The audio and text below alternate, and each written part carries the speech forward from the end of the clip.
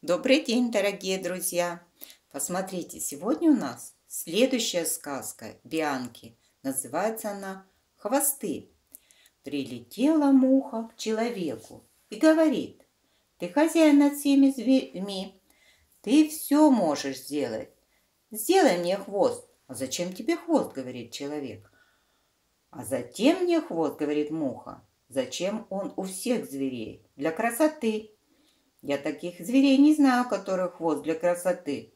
А ты без хвоста хорошо живешь. Рассердилась муха и давай человеку надоедать. То на сладкое блюдо сядет, то на носу ему прилепится, то у другого уха жужжит, то у одного.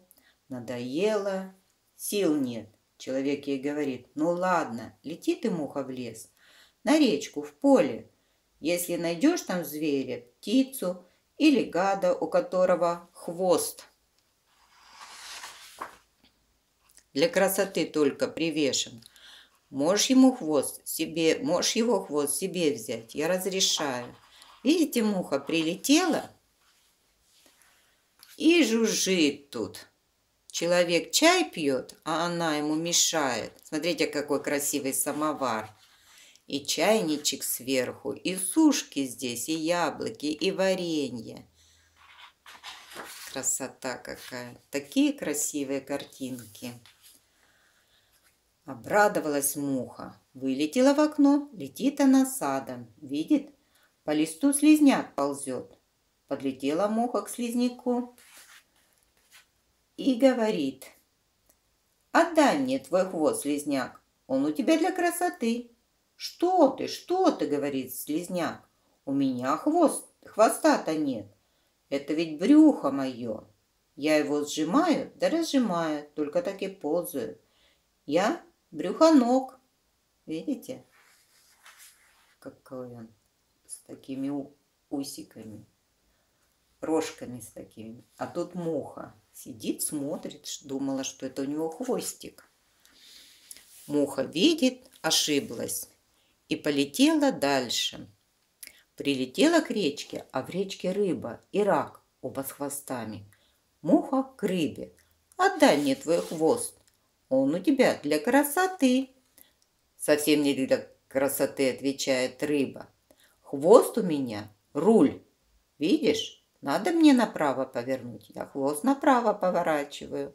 Надо налево, хвост налево кладу. Не могу я тебе хвост свой отдать. Видите, какая рыбка красивая. И речка тут такие лилии. Шикарно.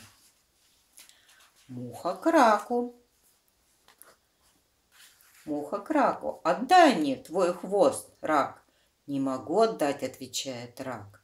Ножки у меня слабые, тонкие. Я ими грести не могу. А хвост у меня широкий и сильный. Я как шлепну хвостом по воде, так меня и подбросит. Шлеп-шлеп и плыву, куда мне надо. Хвост у меня, вместо весла. Видите, какие ножки тоненькие у него, у рака, а тут щупальцы такие. И усы еще длинные. Опять муха ошиблась. Вот тут хвост у него в воде, его плохо видно, но все равно так видно. Полетела муха дальше прилетела в лес. Видит, на суку дятел сидит. Муха к нему. Отдай мне твой хвост, дятел. Он у тебя для красоты только. Вот чудачка, говорит дятел. А как же я деревья-то долбить буду? Еду себе искать, гнезда для детей устраивать. А ты носом, говорит муха. Носом-то носом, отвечает дятел. Да ведь и без хвоста не обойдешься. Вот гляди, как я долблю. Уперся дятел крепкими, жесткими своим хвостиком в кору, размахнулся всем телом, да как стукнет носом по суку, только щепки полетели. Муха видит верно. На хвост дятла дятел садится, когда долбит, нельзя ему без хвоста. Хвост ему подпоркой служит. Видите, как он? Садится дятел размахнется и стук потом по дереву, и только щепочки отлетают. Полетела дальше. Видит оленуха в кустах со своими оля... оленятами, а у оленухи хвостик маленький, пушистый, беленький хвостик. Муха как зажужжит. Отдай мне твой хвостик, оленуха. Оленуха испугалась. Что ты, что ты, говорит? Если я отдам тебе свой хвостик, как мои оленятки пропадут, так мои оленятки пропадут. Оленяткам-то зачем твой хвост? Удивилась муха. А как же, говорит оленуха, вот погонится за ними волк. Я в лес кинусь спрятаться, а оленятки за мной. Только им меня не видно между дерев... деревьями, а я им белым хвостиком машу, как палочкой. Сюда бегите, сюда бегите. Они видят, беленький впереди мелькает. Бегут за мной. Так все и убежим от волка. Нечего делать. Полетела муха дальше. Смотрите, у маленьких оленят маленькие хвостики, а у большой больше и беленький. Так она показывает дорогу, как палочка-выручалочка у них получается. Посмотрите, какие красивые цветочки и грибы тут в лесу. Красота! Полетела дальше и увидела лисицу. Эх, и хвост у лисицы, пышный да рыжий, красивый-красивый. Ну, думает муха, Уж этот-то хвост мой будет. Подлетела к лисице, кричит, отдай хвост. Что ты, муха, отвечает лисица, да без хвоста я пропаду. Погонятся за мной собаки, живо меня без хвосту поймают, а хвостом я, я их обманываю. Как же ты обманываешь, спрашивает муха. И хвостом. А как станут меня собаки настигать, я хвостом верть, верть, туда-сюда, хвост вправо, сама влево, собаки увидят, что хвост мой вправо метнулся и кинутся вправо. Да, пока разберутся, что ошиблись, я уже далеко. Видит муха, у всех зверей хвост для дела. Нет лишних хвостов ни в лесу, ни в реке, нечего делать. Полетела муха домой. Сама думает, пристану к человеку, Буду ему надоедать, пока он мне хвост не сделает. Смотрите, какая лисичка красивая. А здесь лужок, и ромашки, и колокольчики, и цветочки всякие, и мышки, и жучки, и улитка с домиком, и божья коровка тут. Вот какой красивый лес.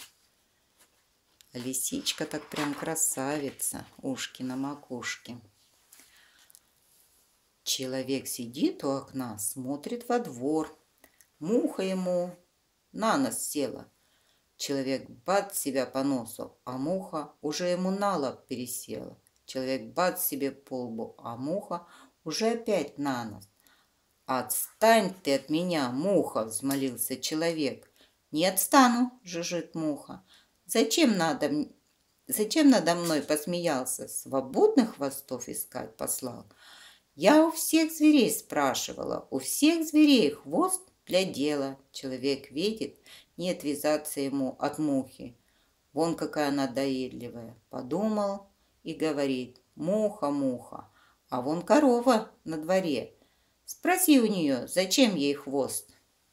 Смотрите, это дом, тут цветы растут рядом с домом, в палисаднике, сток сена, курочки, корова – вот полетела муха с носа человека дальше, к корове.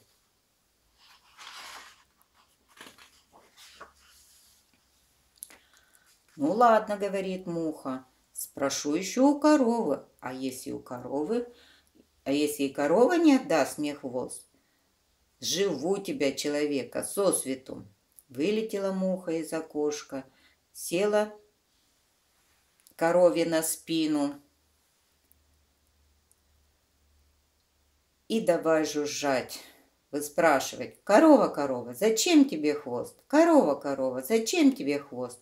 Корова молчала, молчала, а потом как хлестнет себя хвостом по спине и пришлепнула муху. Упала муха на землю, дух вон и ножки кверху, а человек и говорит из окошка. Так тебе, муха, и надо. Не приставай к людям, не приставай к зверям. Надоело. Видите как? Села на спинку, а коровы хвост для того, чтобы мух разгонять. Корова как шлепнула, и муха умерла. Смотрите, какой красивый домик. И курочки здесь, и лужок красивый, одуванчики, ромашки, цветочки, и какая буренушка, коровушка, красавица, глазки какие. На этом мы закончили эту сказку. А сейчас всего вам доброго. И до следующей встречи. Жду ваших комментариев и подписывайтесь на канал. Пока.